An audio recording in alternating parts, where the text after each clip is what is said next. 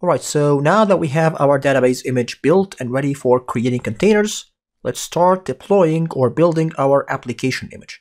As we have mentioned, the application image is going to be based on Node.js application server. We are going to create an API out of this application server and it is going to serve the web server using JSON.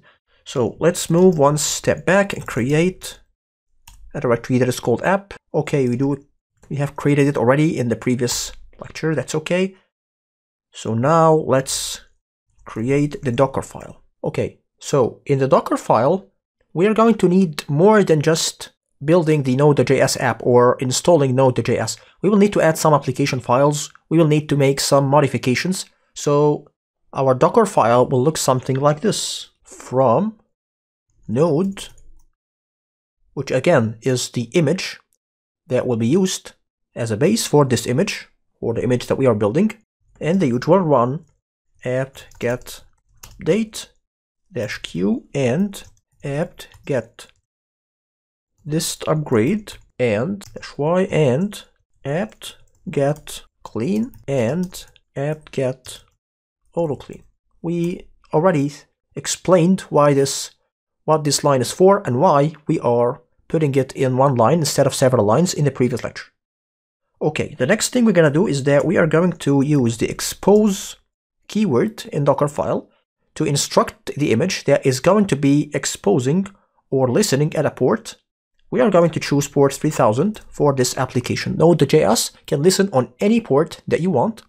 However, you should always pick ports that are more than 1024 because anything that is less than 1024 is going to need root privileges to start listening for connections and we do not need the image to run as root. We need it to run using the node user. So we need to choose any port that is higher than 1024. So we chose port 3000 for this lab.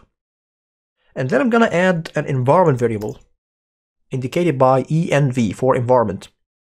Environment variable is just, as the name suggests, a variable that can be used inside the Docker file. So I can define app path this is the path that our application is going to use. I'm defining it here as a variable so that we can use dollar sign app underscore path in the rest of the file instead of just repeating the path. So our path is going to be slash usr slash share slash app. This is the path where our application will live. If you haven't worked with Node before, it's very easy. It's just one JavaScript file containing some instructions and Node can run this file as an application server and it can listen on whatever port you instruct it to. So this is the path where our files are going to reside. And of course, this file must exist first on the image. So I'm going to ensure that it does exist.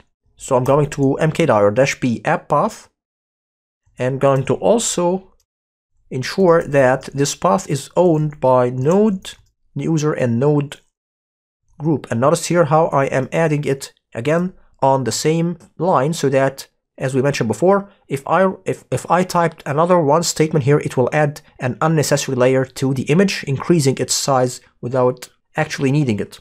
Okay. Next, I'm going to use another instruction of a Docker file of Docker file, which is work dir. Work dir is as if you typed cd some path. Okay, if you type cd and you type the path to some file or directory on bash shell, you are going to be standing or working in that directory. So work dir ensures that as if the image or as if Docker has typed cd and then it typed the path that you are going to instruct it to, which is app path. So my working dir now is slash usr slash share slash app. I'm going to use this instruction user node. So now I did two things.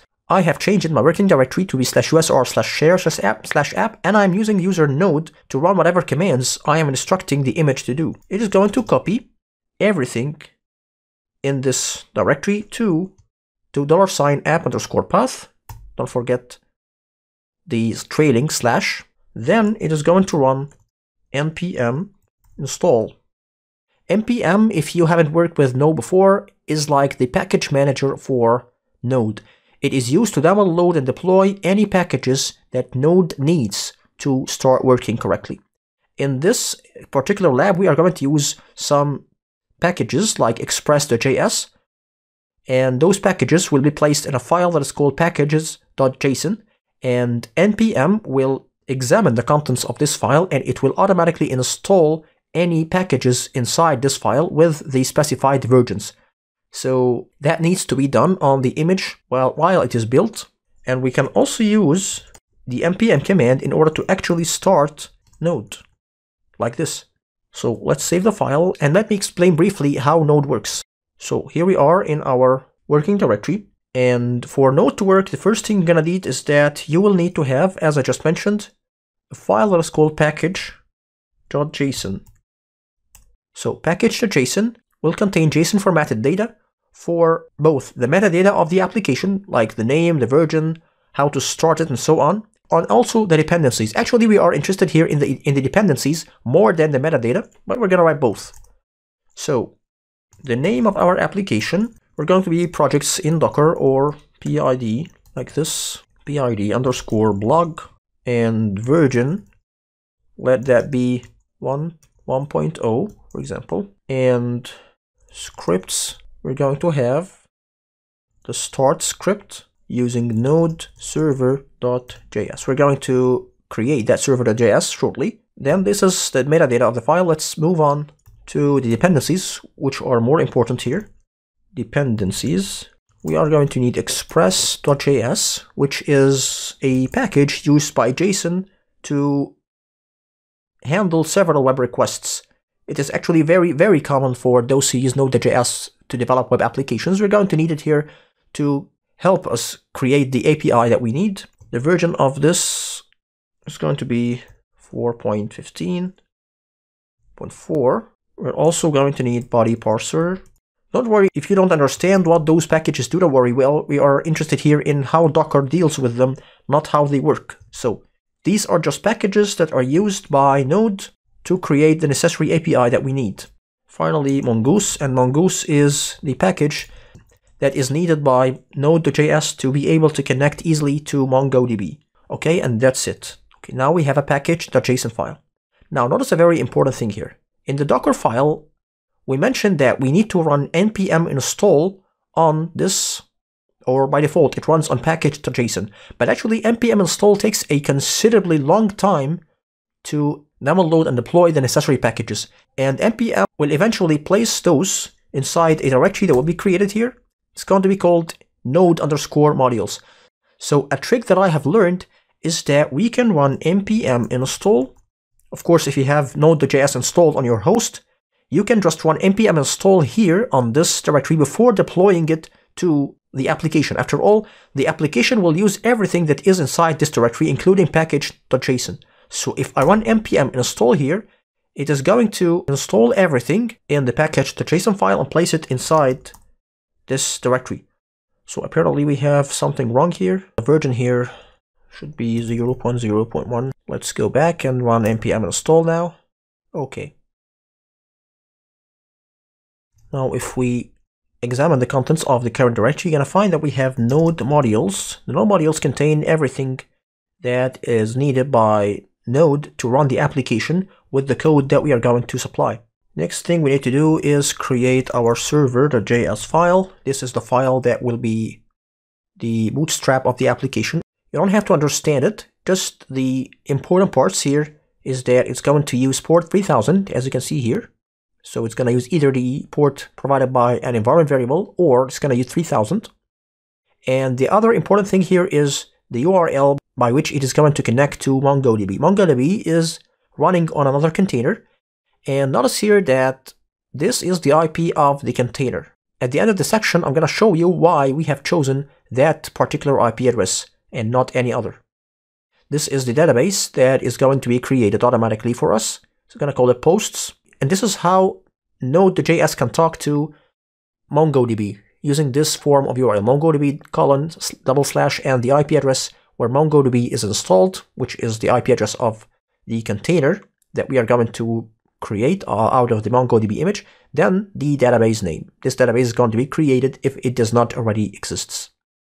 Next, we're going to use some files, controllers, and views This is not, of, co of course, because this is not a Node.js course, so I'm not going to go through the details of this. I'm just gonna copy and paste those files into our current directory, and you're going to find all the source code in the resources folder that accompanies this section. So if you have a look here, I have pasted a directory that is called API. It contains controllers, models, and routes. These are what makes Node.js work.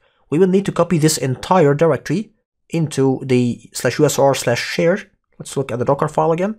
All this is going to be copied inside the application path, which is slash usr slash share slash app. Once these are copied, we can run npm install in order to install anything that might be missing from the package.json or that might have changed. It. Then we're going to use npm start to start the application out of server.js file, which is actually inside the same directory here. I hope everything is clear, and it's gonna get clearer once we start running the containers and launching the application. Okay, so now let's go ahead and build our image.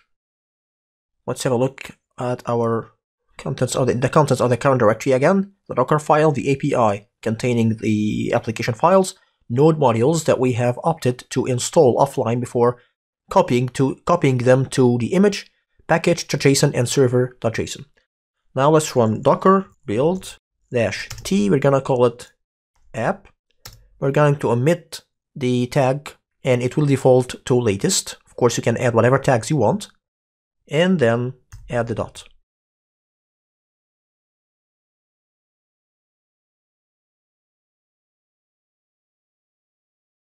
Okay, so now the image has been built successfully. And these lines in red here show that the npm install has been run. That is the default output of npm install when there is no description or repository or license fields. Actually, I've managed to make the package, the JSON file as brief as possible, just as not to distract you. If we clear the screen now and type docker image ls, you're gonna see that we have now Mongo image, the base image, node, the base image, and then the two images that we have built on top of them, the database or DB and app. That brings us to the end of this lecture. In the coming lecture, we are going to build the final image of our stack, which is the web server running Nginx. So until then, take care.